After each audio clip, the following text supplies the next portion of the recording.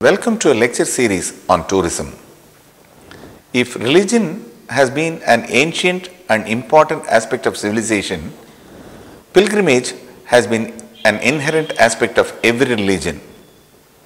While religion has given a proper spiritual orientation to people, pilgrimage makes them travel from place to place and has evolved into a kind of tourism in its own right called the religious tourism or faith tourism. In this module, we will be discussing this very special component of tourism under the following heads History and Evolution, Religious Tourism in India, India's Festival and Pilgrim Centers, Action Plan, Scenario Today. We hope you will find this module useful in gaining a broad perspective of religious tourism and also to understand how it has evolved into a promising branch of tourism in its own right. History and Evolution Religious tourism is a branch of tourism which is also referred to as faith tourism, where people travel individually or in groups for one of the following purposes pilgrimage, missionary activities, leisure. One classic example of mass religious tourism is the annual Hajj pilgrimage to the holy city of Mecca, Saudi Arabia, by the Muslims, or the pilgrimage to Sabarimala in the Indian province of Kerala, or the Kumbh Mela in the holy Indian cities of Haridwar, Allahabad, Ujjain, and Nashik, which attract millions of Hindus from across the world. All the Jews making their aliyah back to Israel, or Catholics visiting regional shrines or the Vatican. Besides these cities, there are other important pilgrim centers that draw a very large number of the devout of different faiths like Jerusalem, Varanasi, Kanchipuram, Kumbakonam, Tirupati Tirumala Hills, Sanchi, Sarnath, Palitana Jain Temple, etc. As long as people have believed in something, there has always been a travel associated with that belief. Pilgrimages are part and parcel of faith itself. The effort of a voyage sets a specific goal for a traveler, and the visit to the holy destination was and is a religious experience in itself. These visits to the shrines enable a believer to understand and appreciate his religion better and to connect personally to the holy place. In pre-Christian times, the oracle at Delphi played an important role in ancient Greece. The pan-Hellenic religious feasts held at Olympia every four years and at Delphi led to the two sites becoming famous outside Greece. The oracle at Delphi, in particular, exercised a strong attraction, drawing a large number of pilgrims. There are frequent references in Latin literature to the otia, the leisure time that the upper classes spent on activities other than work that gave them a well-earned rest after work. During their otia, the Romans used to visit cities known for their soothing climatic conditions, such as Pompeii. Religious tourism became popular in the Middle Ages when people undertook journeys and pilgrimages to holy places. The growth of interdependent means of transport greatly facilitated this trend, which paved the way for amenities like inns where travelers rested, ate and relaxed. The most common destinations of the period were Santiago de Compostela, Czestochowa and Rome. In the Middle Ages, pilgrimages were a collective phenomenon that was an integral part of the Christian world. Pilgrims were considered to be extremely spiritual and were held in high esteem by the society. Pilgrims were the initiated who sought to free themselves from the structures surrounding them and to ascend to a new level of existence. When the pilgrims returned home, they were greeted with admiration and given a rousing welcome. In medieval times, pilgrimages were undertaken by those in search of salvation and sometimes for getting cured of some deadly ailment. In short, the purpose was to rise to a higher level of spirituality, and in this sense, pilgrims in the Middle Ages were clearly different from those who travelled to satisfy their curiosity. In the 17th century, those travelling for the purposes of tourism emphasized the search for truth, but the real change in the nature of tourism came about in the following century. With the reduction in working hours following the Industrial Revolution, more leisure time was available to the population. Pursuit of knowledge was considered important, with a special emphasis on art, architecture and poetry. A landmark development took place in 1828, the year in which George Stephenson invented the steam locomotive. This period also witnessed a lot of interaction amongst the European nations. The English aristocracy embarked on frequent visits to other European countries described as the Grand Tour of Europe. Similarly, the German nobles, intellectuals and artists frequented different parts of Italy. Travel for pleasure gained popularity and the growing demand led to the birth of travel agencies. The first was founded in Leicester in 1841 by Thomas Cook. He went on to become famous because in 1866 he organized the first tour of the United States and in 1872 the first round the world tour. It is only in the beginning of this century that tourism turned into a business but its progress slackened in the first half of the century owing to the two world wars. After these initial difficulties, tourism gradually became a good business model and kept pace with economic and technological growth. Tourism has given rise to new habits, new behavioral patterns, lifestyles, and changes in the general perceptions of time. It has generated a movement of culture that encourages travelers to see and understand social, cultural and environmental differences. Today, the old pilgrimage sites have again begun to attract masses of pilgrims. The difference now being that the pilgrims also come across as tourists on holiday. What does this mass movement mean?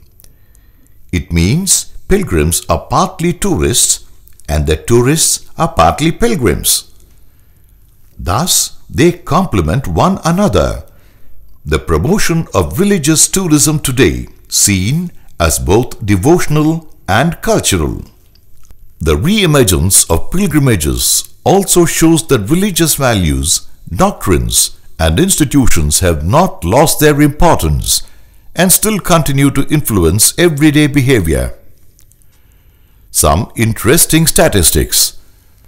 According to WTO, World Tourism Organization, an estimated 300 to 330 million pilgrims visit the world's key religious sites every year.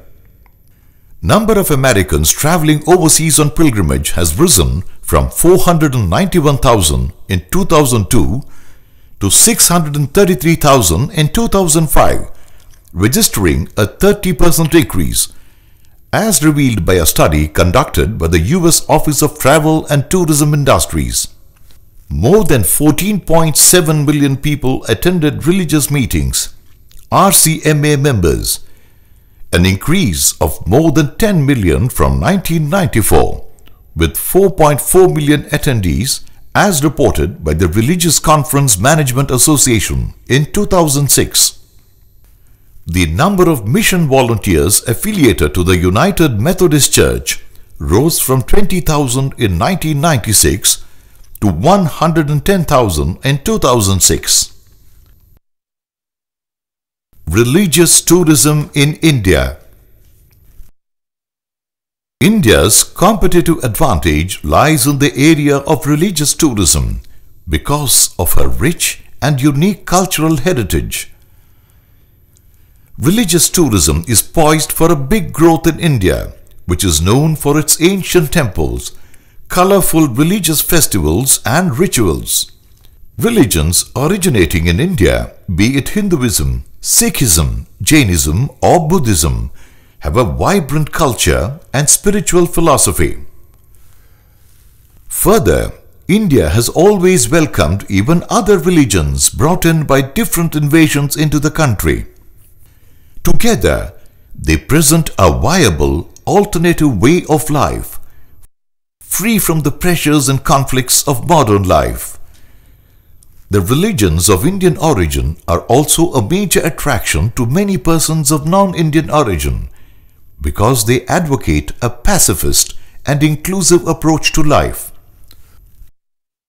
India is a country where spirituality is not restricted to the temples, mosques and churches. In fact, it's the lifeblood of the nation. As a confluence of different religions, India has attracted pilgrims from all over the world. There is probably more diversity of religions and sects in India than anywhere else on the planet.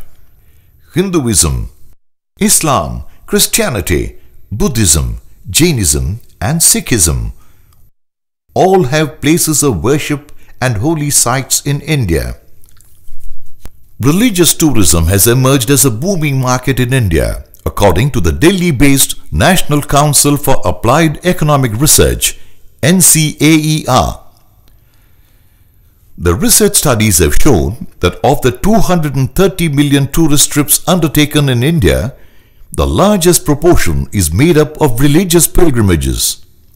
Undertaken by both rural and urban Indians, they outnumber leisure holidays in hill stations, getaways to sea beaches, and even trips to metropolitan cities. As many as 23 million people visited Tirupati, a temple town in Andhra Pradesh province, to catch a glimpse of Lord Balaji. Tirupati's annual list of pilgrims is higher than the total number of travelers visiting Mumbai, Delhi, Bangalore and Kolkata put together. In the northern state of Jammu and Kashmir, 17.2 billion devotees trek uphill for 15 kilometers to pay respects to goddess Vaishno Devi. As for Indians, pilgrimages hold special significance as they believe it to be the first step towards achieving salvation. Leaving behind the comforts of worldly pleasures and undertaking a difficult journey is considered a duty, virtue, and a means at purification of the soul. The land of cultures, vivid religions and gods, India provides ample amount of opportunities to come close to people and study their beliefs and customs through these pilgrimage tours and thus are incredible traveling circuits. Festivals and Pilgrim Centers of India some of the holiest places of North India are the snow-capped mountains of Badrinath, Kedarnath and Amarnath. In the central part lie Varanasi, Prayag, where the Kumbh Mela is held, and Mathura, the birthplace of Lord Krishna. In the east lies Puri, famous for the Jagannath temple. In the south are Rameshwaram and Kanyakumari. Here is a list of Hindu pilgrim spots in India. The major Hindu religious tourism centers in India are Varanasi, Uttar Pradesh, Haridwar, Uttaranchal, Tirupati Temple, Andhra Pradesh, Akshardham, Gandhinagar, Gujarat. Amarnath Temple, Pahalgam, Jammu and Kashmir. Somnath Temple, Gujarat. Vaishno Devi Temple, Jammu, Jammu and Kashmir. Kailash Temple, Aurangabad, Maharashtra. Sun Temple, Konark, Orissa. Chidambaram Temple, Tamil Nadu. Mahabalipuram Temple, Tamil Nadu. Rameshwaram Temple, Tamil Nadu. Meenakshi Temple, Madurai, Tamil Nadu. Badrinath Temple, Uttaranchal. Naina Devi Temple, Bilaspur, Himachal Pradesh. Sabrimala Temple, Patanamthitta, Kerala. Guruvayur Temple, Trishur, Kerala. Kodungalur Temple, Trichur, Kerala. Chettikulangara Temple, Mavelikara, Kerala. Padmanabhaswamy Temple, Trivandrum, Kerala. Dakshineshwar Kali Temple, Kolkata, West Bengal. Kali Ghat, Kali Mandir, Kolkata, West Bengal. Hanseshwari Temple, Bansberia, Hooghly, West Bengal. Puri Jagannath Temple, Orissa. Sikh pilgrimages. The Sikh community is known for its sense of brotherhood and fellowship, a fact that is reflected in its pilgrimage sites.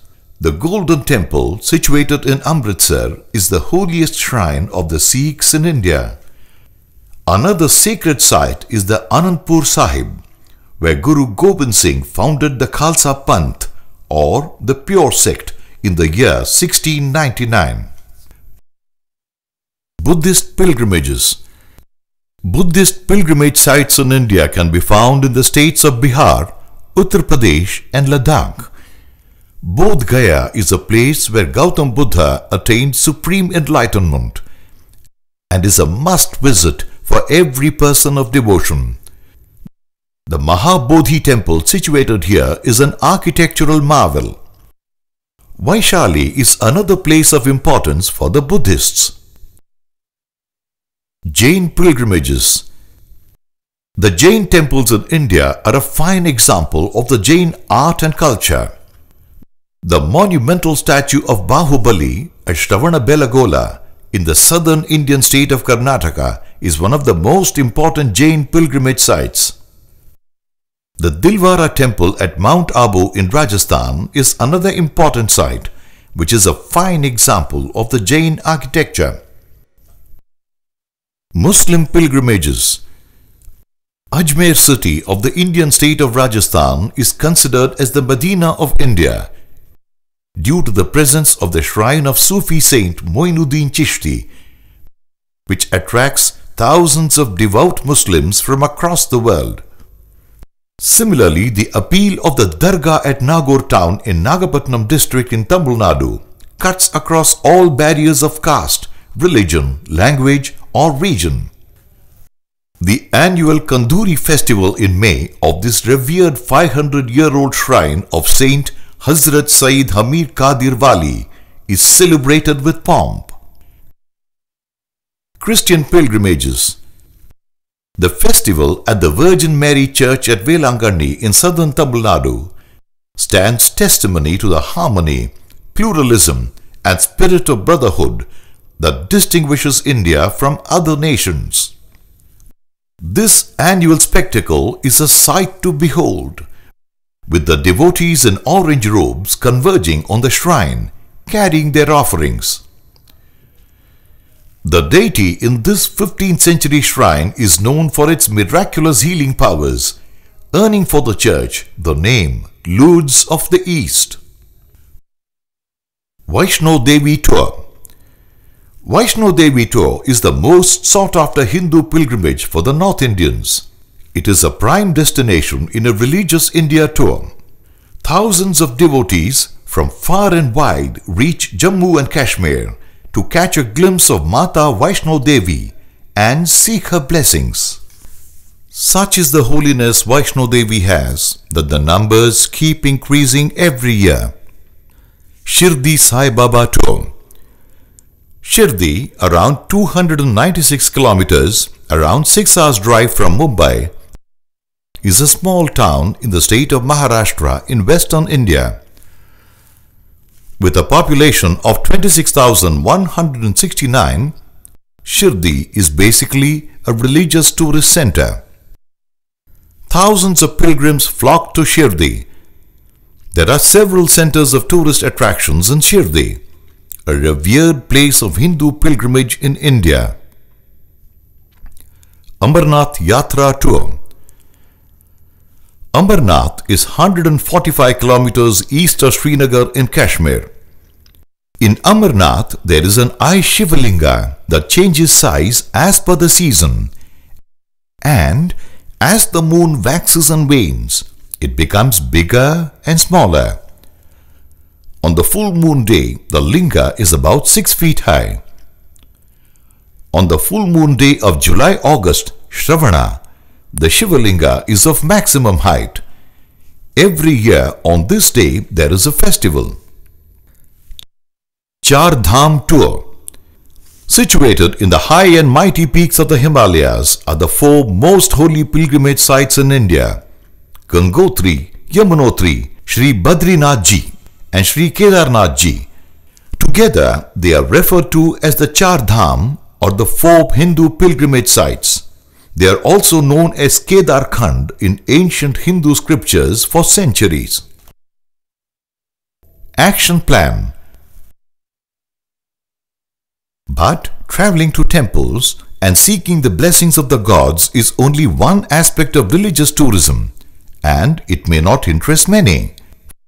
Foreigners coming to India are fascinated by the gaiety and pomp that marks religious festivals these can also be made nodal points for promoting religious tourism in India.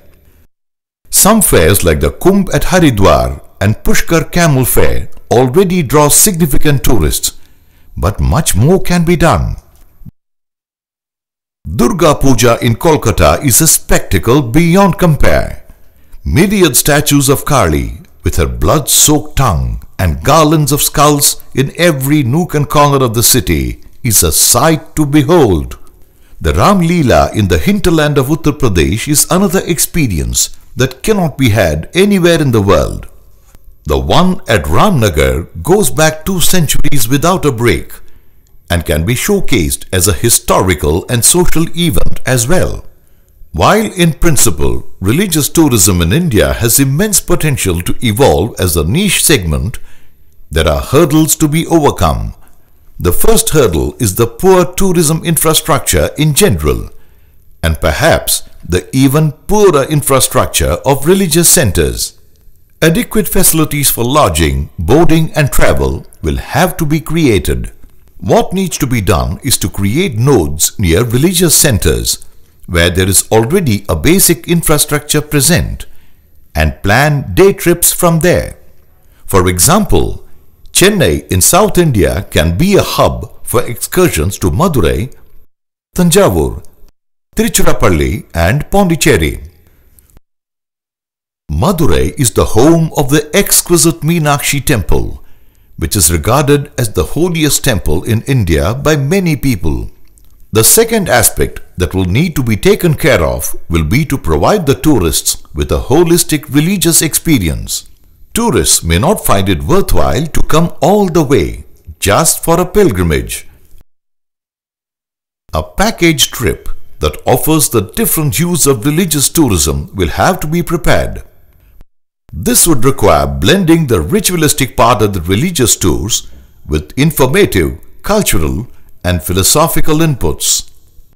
Information on the mythological significance of the places of pilgrimage will need to be provided in advance so that tourists are better prepared. Traditional dances, music and theatre related to the religious shrine will have to be built into the itinerary. Discourses on the essence of the religious beliefs. Workshops on yoga and Ayurvedic practices can add immense value to religious tourism. Religious tourism in India can provide an experience that cannot be had anywhere in the world.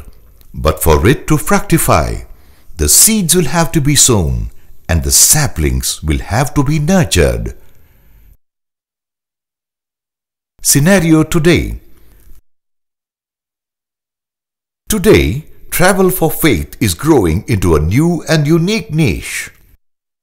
A good number of people going on faith-based journeys prefer combining a vacation with their religious travel. This trend is catching on so fast that there is now a World Religious Travel Association WRTA. The main objective of this body is to focus on the religious travel market make the travel industry aware of its potential, and help provide a focal point through which the market could grow. Incorporated in November 2006, WRTA established itself as a recognized voice for religious tourism and hospitality market, which attracts 300 million travelers a year. WRTA hosted three World Religious Travel Expos attracting organizations and professionals from more than 30 countries on six continents. The association's members and partners included travel agents, tour operators, travel wholesalers, ground, incoming operators, cruise lines, destinations, suppliers, trade associations, religious organizations, and group planners. It successfully brought together these segments by organizing the historic three-day World Religious Travel Expo in November 2008 at Orlando, USA. Religious tourism has registered a significant growth over the years and is poised for bigger achievements in the immediate future. As for India, by virtue of being a great melting pot of various religions and a perennial fountainhead of spiritualism, it is in a vantage position to make full use of the emerging trends in this unique branch of tourism. We will conclude this session on that positive and happy note. Thank you.